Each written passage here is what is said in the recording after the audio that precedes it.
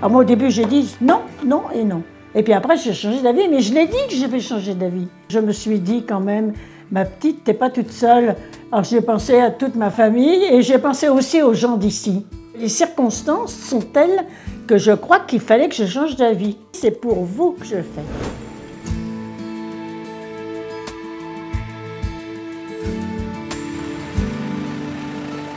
Lorsque nous avons su que nous étions établissement euh, pilote pour euh, ces premières vaccinations, nous avons eu euh, des contacts avec l'Agence régionale de santé pour cette organisation, mais également avec le CHU de Lille. Par de simples échanges téléphoniques et mails, nous sommes mis d'accord sur le jour et l'heure approximative de livraison et nous avons bénéficié tout simplement de la livraison du CHU de Lille. Donc pour nous, ce fut très facile que de recevoir les doses, de les mettre dans notre frigo et puis de les ressortir tout simplement pour procéder aux vaccinations.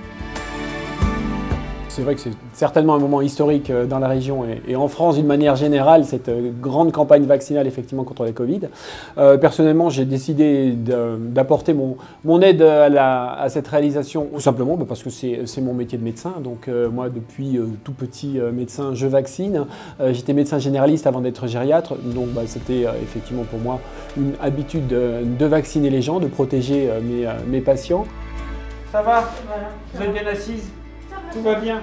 Lors de cette consultation prévaccinale réalisée par un des euh, médecins de notre établissement, euh, il est procédé à un examen clinique, un examen du dossier médical du résident. On a bien évidemment aussi vérifié l'absence de contre-indication des, autres allergies à des, vaccins antérieurs ou euh, des réactions allergiques à, d'autres produits.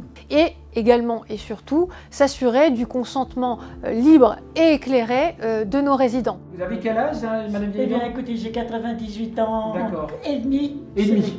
C'est important le demi. Et demi, et demi. D'accord. Je vois que l'épidémie progresse, progresse, et que un beau jour on va y, on va y être, uh-huh. et que là, on ne sait pas si on va en sortir. Voilà. On peut dire que même si on est au tout début euh, de la vaccination de la population générale, il y a quand même déjà des millions de doses qui ont été euh, faites en essai clinique, avec vraiment très très peu euh, d'effets secondaires, et que la sécurité clinique, elle est quand même tout à fait rassurante, elle est bien existante. Donc là, le vaccin est prêt à être injecté sur les résidents.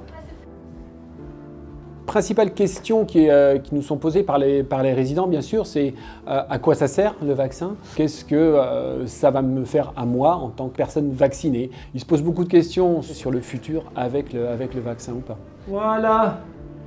Ça va? Ça fait pas mal. On t'en vient. Bah non, hein. Ouais, c'est pas pire qu'un autre vaccin. Hein. Ah bah je vous avais dit, hein. c'est la même chose. Ça s'est passé en deux temps, en trois secondes. J'ai peine eu le temps de dire ouf que et je dis à tout le monde, c'est vrai, je n'ai senti que la piqûre.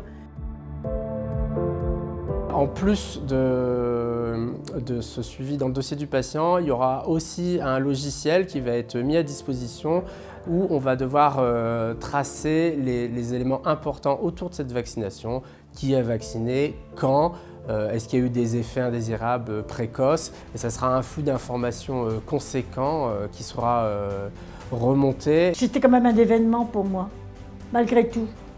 Je ne peux, pas dire que j'ai fait ça comme ça, hein. c'est pas vrai. Je ne sais pas comment ça va faire à la suite, hein, parce qu'on n'est pas une masse à être vacciné.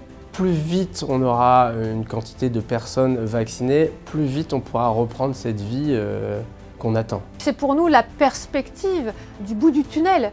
Euh, puisque une fois que nous aurons euh, plusieurs résidents vaccinés, nous pourrons repenser l'organisation de la vie au quotidien qui a été fortement chamboulée avec le Covid-19, donc en permettant peut-être à nouveau le, le retour des visites en chambre. Je crois qu'une des raisons pour lesquelles il faut en venir au vaccin, c'est quand je vois le nombre de décès, quand je vois euh, le nombre de gens qui sont hospitalisés, enfin tout ça. Moi, je me suis dit quand même un beau jour, le Covid, il va avoir raison de moi. Je dis tout à l'heure à mon fils, qui finalement pavoisait comme pas un. Tu sais, mamie, que tu es dans nos éclairs Je dis, oh, je sais rien du tout, je suis vaccinée. Ah bon, c'est fait? Oui, oui, ça y est, c'est fait.